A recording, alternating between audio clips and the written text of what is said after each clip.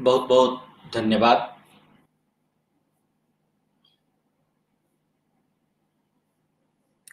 कल हमने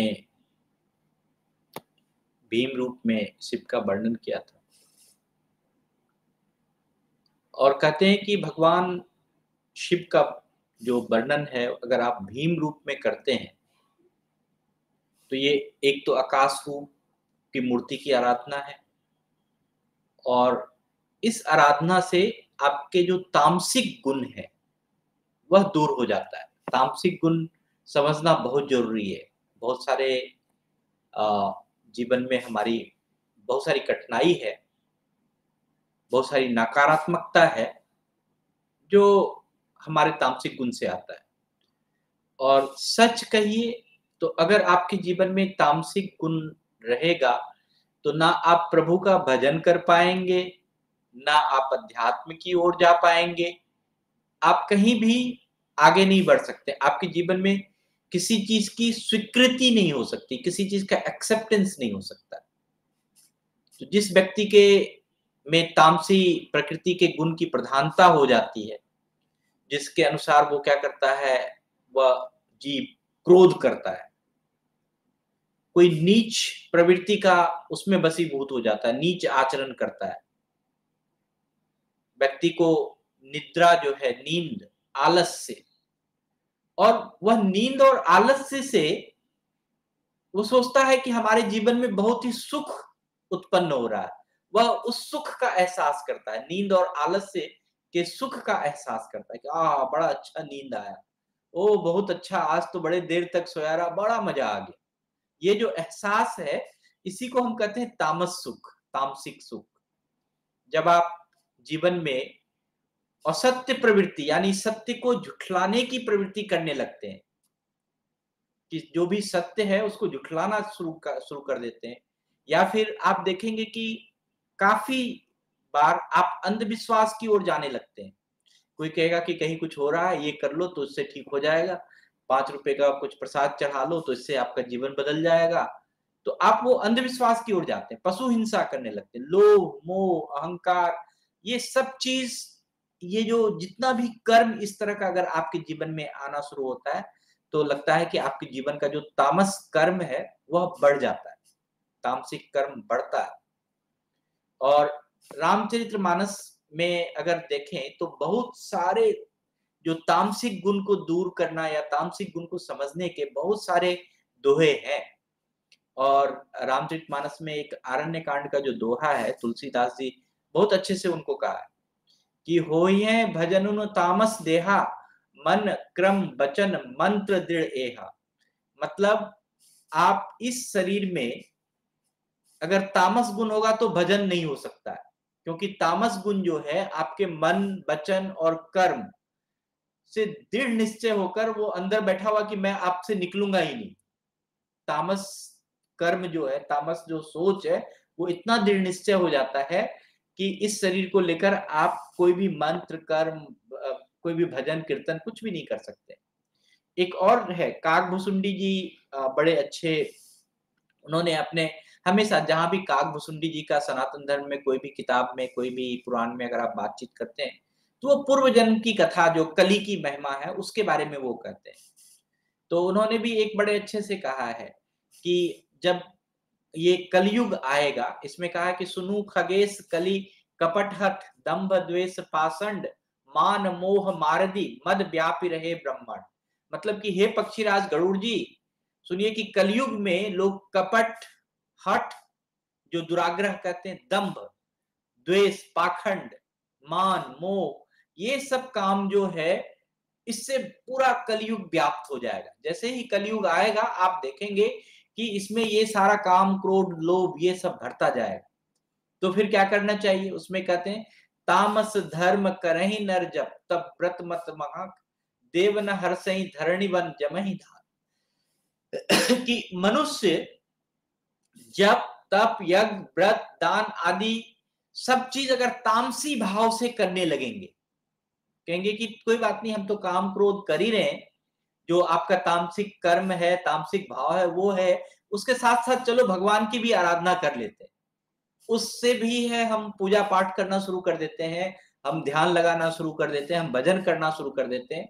तो उसमें बड़े अच्छे से कहा है कि अगर आप तामसिक भाव से अगर कुछ भी करेंगे, दान, धर्म, व्रत, यज्ञ, कुछ भी करेंगे तो देवता जो है, इंद्र भगवान न पृथ्वी पर जल बरसाएँगे और बोया हुआ अन्न भी नहीं उगेगा। अगर इस पृथ्वी पर धान उगाएँगे तो वह भी नहीं उगेगा तो इसलिए कि तामसिक जीवन में अगर तामस आ जाए तो बड़ा ही वो जीवन जो है कठिन हो जाता है। वैसे अगर हम कहें कि इस भौतिक जीवन में तीनों ही गुण बहुत ज़रूरी है। सत्य गुण रजस गुण और तमस गुण के बिना हमारा जीवन नहीं चल सकता। आप इवन की कोई भी अणु, परमाणु किसी भी चीज़ को ले लीजिए, कोई भी वस्तु को ले लीजिए, किसी भी भौतिक चीज़ को ले लीजिए। बिना कंपन का, बिना ऊर्जा का और बिना एक खास स्थिरता का उसका कोई महत्व तो नहीं है। अगर मैं बोल रहा हूँ और आवाज़ में कंपन है, तभी तो आप, वो जो ध्वनि की ऊर्जा है, वो आप तक पहुँच रही है। अगर मैं बहुत ही फास्ट बोलूँ, स्थिरता नहीं हो तो फिर क्या होगा? इस बोलने का भी कोई आयाम नहीं रहेगा। इस प्रकार से अगर हम देखें ये तीन तत्व जो है, अगर आप उस, वो हर चीज़ को थाम कर रखता है। अगर यह तीन चीज़ नहीं हो सत्व रज और तमोगुण नहीं हो तो कोई चीज़ थम के नहीं रहेगा, सब चीज़ बिखर जाएगा।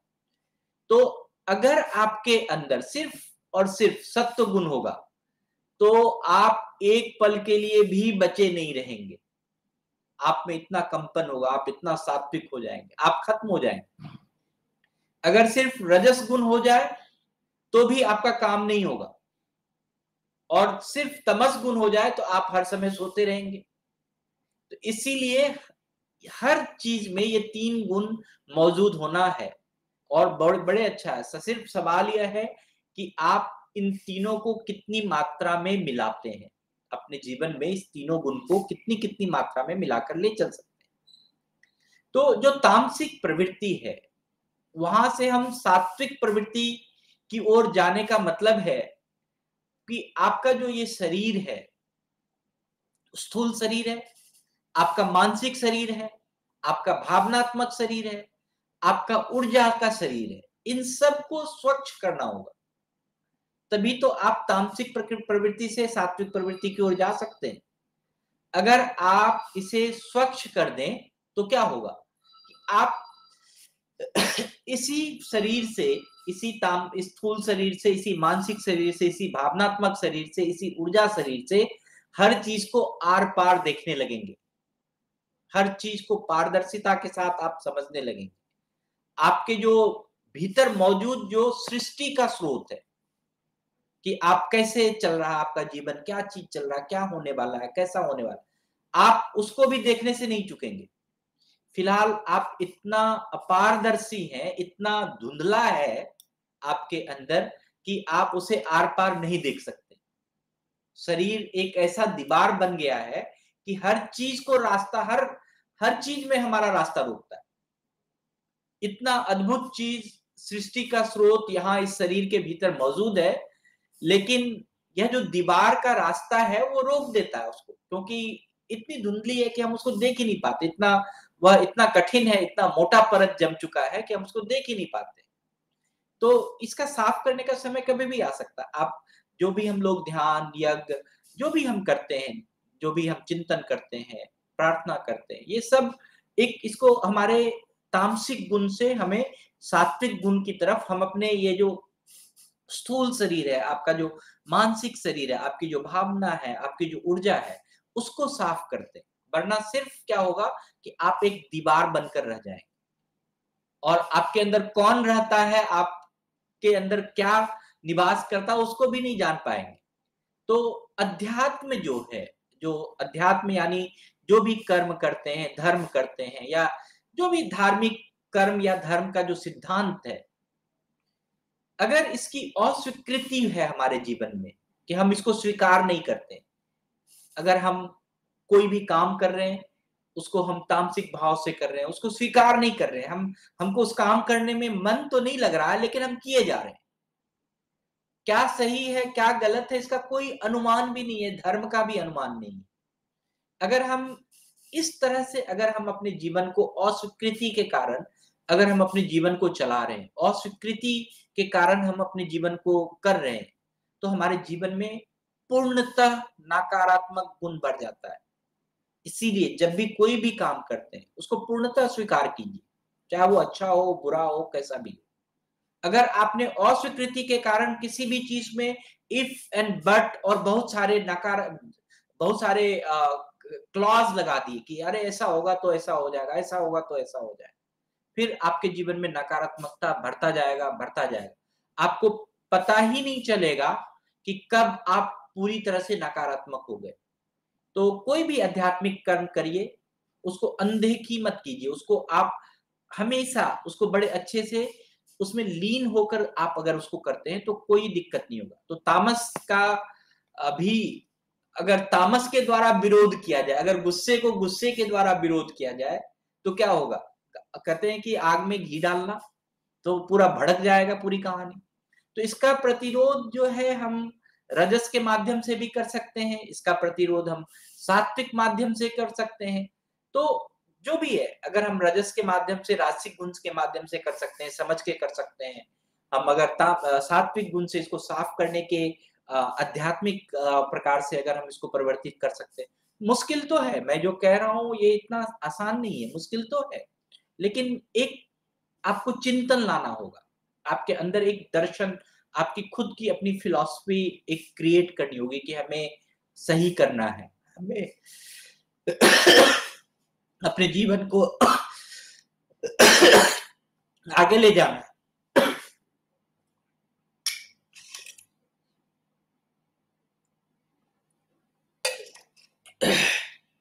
तभी हम इसको आगे बढ़ा सकते हैं। जो हमारी, जो एक चिंतन है, जो चीज़ हम लोग बातचीत करते हैं सचेतन में विचार के माध्यम से, वह एक दिव्य प्रसाद है।